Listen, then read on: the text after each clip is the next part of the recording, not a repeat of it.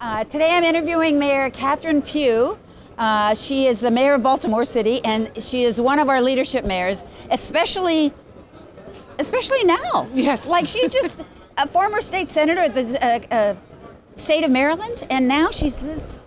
I'm just, I'm blown away. Thank I really am. so I have many- to tell you yes, the so truth. I, I tell people that when I joined the U.S. Conference of Mayors, when you become a mayor of a major Right. city, and I've been a mayor now for about a year and six months, you're automatically a mayor. Right. I said I really want to stay focused on my city.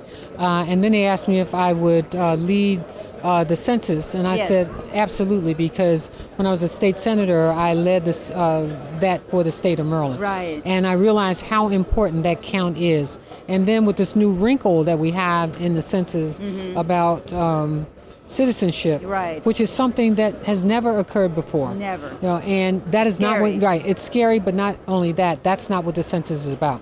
And so we don't want the census politicized. We want the census to focus on what it was originated to do, Mm-hmm. and that it was to count people so that we that are living in particular jurisdictions, so that as we're dividing up federal dollars, Mm-hmm. that we make sure that those dollars are coming to the jurisdictions where people are right, living. to get the right credit. Absolutely, Yeah, yeah. absolutely. So tell us what you're doing uh, with affordable housing. So affordable housing is really interesting because what we're doing now is looking at how we redevelop neighborhoods that have been underinvested in in decades. So what we're saying to developers, because if you come to Baltimore, you'll see cranes up everywhere. If you build apartment buildings downtown, because millennials, you know, that's where they want to live, they fill up before you can get them up in the air.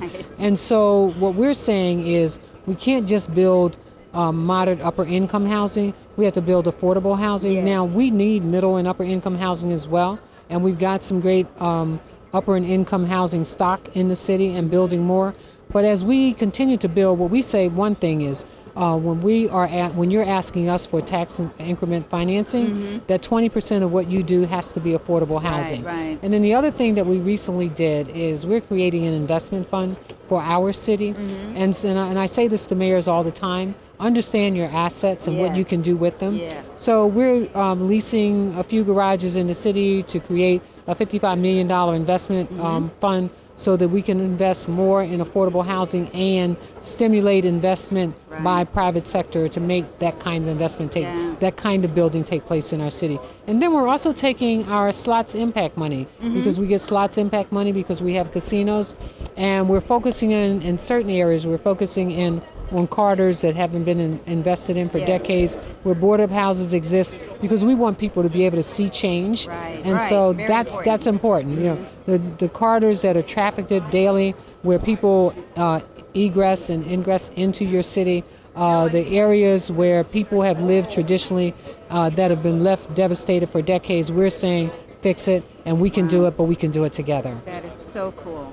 I mean, you're really changing the whole landscape for Baltimore. Well, I tell people we got to think creatively, Yeah. and we have to understand the power that we have as mayors. Our responsibility is for our city is the vision what we want our city to look at Yeah, look like yeah. decades after Right. we're gone. Right, right. Well, that's so important to think big and think yes. future. Yes. So I want to ask you about our waypoint. Yes. This is a really cool way of communicating right here, right now, what's Yes. going on in a city.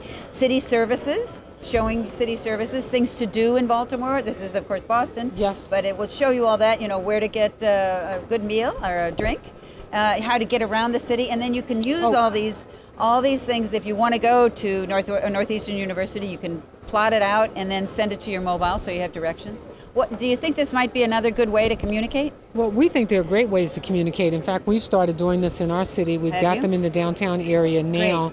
Uh, we think these are, are not just great tools for people who live in the city, it's great tools for people who visit the, Who city. visit the city. And tourism is Yeah. a big trade Yeah, in yeah, our city. Right. And so we find them to be very advantageous and certainly Great. something that we believe most cities should be looking at. absolutely. Well, I'm a big advocate for city community identity. You Absolutely. and what it, what is it when you walk into Baltimore? What do you think? Charm so City. this is another Charm City. There Charm you City, go. You've got that brand, and now you can better communicate it with these Absolutely. kinds of uh, tools. Thank you so much for talking with Thank us. Thank you. Thank and I'm so excited for your leadership and what you're doing. I mean, I'm.